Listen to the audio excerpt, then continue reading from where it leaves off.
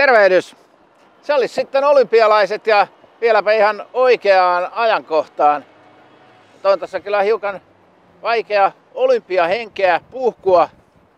En tiedä kenen mielestä on järkevä ajatus, että olympialaiset järjestetään koronan kotimaassa, jossa vielä edelleen yritetään omikronia torjua nolla toleranssilla niin, että jos urheilijalla vähän viisari värähtää, niin häkki heilahtaa.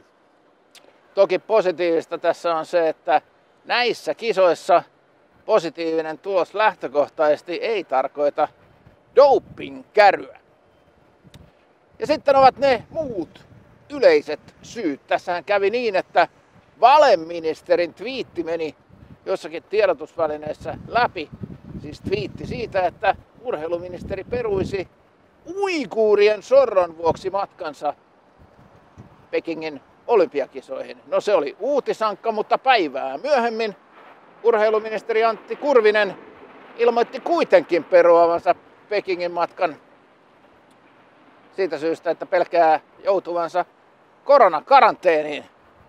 Ja nyt siis suomalaiset urheilijat jäävät vaille urheiluministerin kannustusta ja nähtäväksi jää, onko heillä minkäänlaisia mahdollisuuksia ilman tätä pontevaa tukea.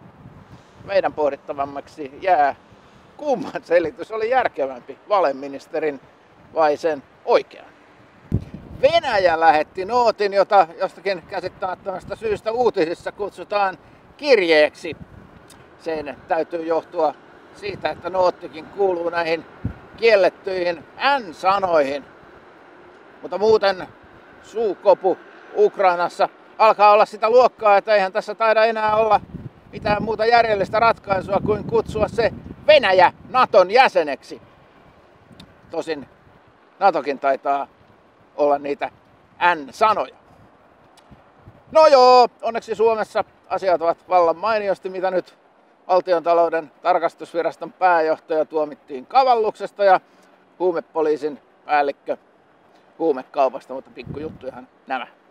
Jotakin merkillistä logiikkaa lienee siinäkin, että talonpoikaismarssi, Mäntsälän kapina tai saattuen Murmanski vai mikä se nyt olikaan aikoo kuuleman mukaan tukkia Helsingin ydinkeskustan.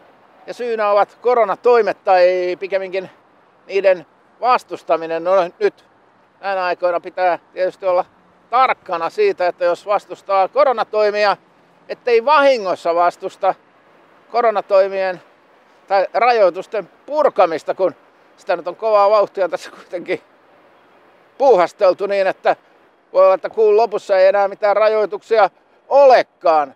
Tällä viikolla uutisoitiin, että yökerhoissa tosin vielä valomerkki tulee kello 17. Olen tässä odotellut oikaisua, koska uutisena oli pakko tarkoittaa päiväkerhoja.